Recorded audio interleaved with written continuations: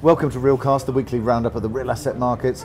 We're here live in Cannes, and I'm joined by Dan Innes um, and Courtney Finger. Um, huge focus on ESG here, lots of uncertainty in the market. But let's pick up with you, Courtney.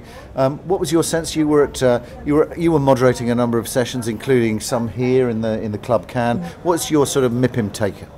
Well, the, the first and, and potentially most interesting read of investor sentiment is the Reinvest Summit, which brings together around 100 of the world's biggest capital owners, sovereign wealth funds, pension funds, and others. And they do roundtables and they talk about how they see the world. And probably tellingly, the first topic was what keeps you up at night, and the list was pretty long. But they're worried about inflation, they're worried desperately about interest rates, they have a feeling they don't know how to value anything anymore. They're worried about ESG, they see it as an opportunity, but how to measure it, uh, how to study it, what does ESG mean, how to make returns while, while being impactful. At the same time, they are sanguine about geopolitics. What they said over and over again is that the geopolitics looms over everything, but they can't control it, they can't influence it, so they just have to find strategies to mitigate and deal with it. So they feel that there are massive challenges in the world, but of course opportunities. They're very bullish on sectors like data centers, life sciences, and industrial, so they're still finding opportunities where they can. Uh, amongst the investment promotion agencies, we had a, a breakfast this morning where we gathered uh, officials from cities and regions and countries who are charged with attracting inward investment, and they're also more confident than they were last year I found, because we of course just had the war in Ukraine start, and there was a lot of nervousness, especially amongst delegates from the Baltics and Central and Eastern Europe. Uh, they're still worried about that, but feel they're getting a little bit back to business. But then there was a sense to me the entire days of MIPIM that these storm clouds were gathering, people very worried about Silicon Valley Bank and contagion in the financial system. So it felt like people are popping the champagne corks in MIPIM, being, being bullish on many things, finding opportunities, but worried about what looms outside the gates of MIPIM.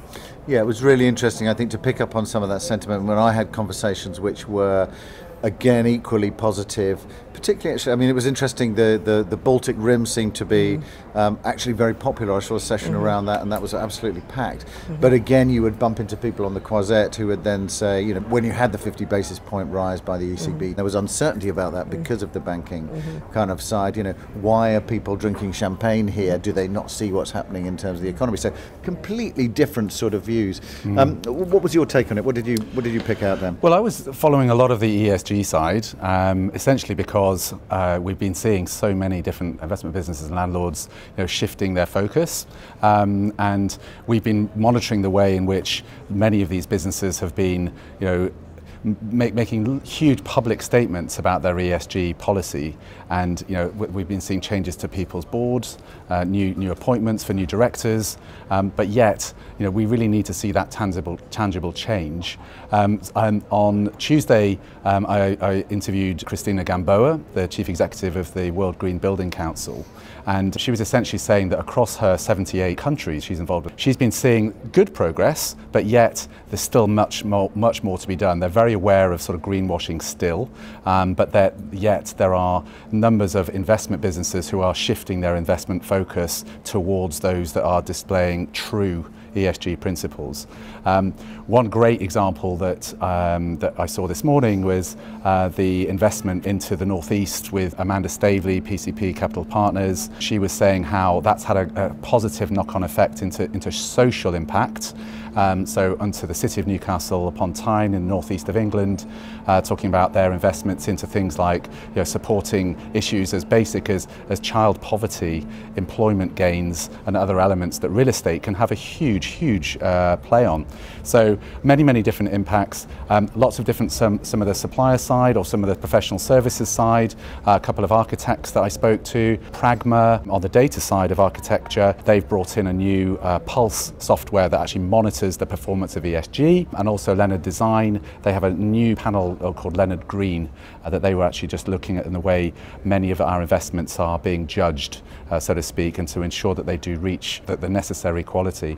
But I think generally, I think I, I agree with Courtney, there's been a lot of champagne popping, but there is this sort of apprehension. There are some surprising champagne corks being popped out there, but I think there is a bit of a levelling, much more positive than Expo Real. Um, if you remember, we were literally quite doom and gloom post Expo Real. But um, yeah, MIPIM this year, I think I would say on the, on the whole, positive. Yeah, there's an element of glass kind of half full, glass half empty, isn't there, around that? Um, ESG is certainly a huge, huge part of the conversation. When we had a round table on the Collier's yacht, and some interesting things, not least the fact that it's the first time at MIPIM that I've ever had an event where there were more women than men. Genuinely, the first time that has ever happened at MIPIM that, that wasn't an event about diversity. Um, so that I thought was actually incredibly positive. And there was a growing sort of focus on the functional ways in which you can deliver it. So we were actually talking not about is it a good thing, but actually what do you need to do to refurbish an office? Yes. Um, so how do you get it from something Yeah. that is no longer sustainable into something that is positively sustainable? And I thought that sustainability side was coming through quite strongly as well with the investment promotion agencies as well, Courtney. Ab- absolutely. Investment promotion agencies are very cognizant these days of trying to bring in investment that's sustainable and work with companies that have strong ESG credentials. You still have places in the world where there is perhaps a desperation to bring in um, any kind of investment they, they can get, but you see that less and less.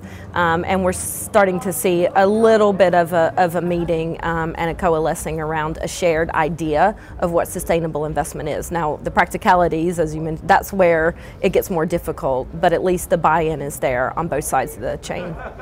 Yeah, and we had, um, you know, interestingly, very successful events here, networking events at, at the club on research and insight. You get a lot of focus on strategy here, people looking forward a lot, I thought, rather than thinking about what the market is now, but thinking Much about where it's going to be in, you know, p- particularly by Expo Real, which may well be a much more positive place. Um, but also then around senior housing and healthcare, very well attended. Uh, ESG and impact, again, very well attended. The magazine.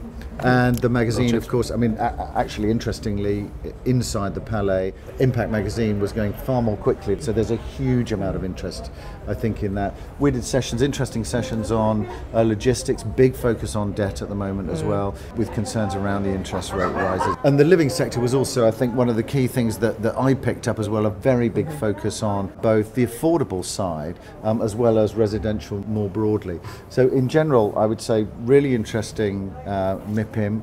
Um, I haven't seen such a diversity in views in terms of people who were positive about the market and negative about the market.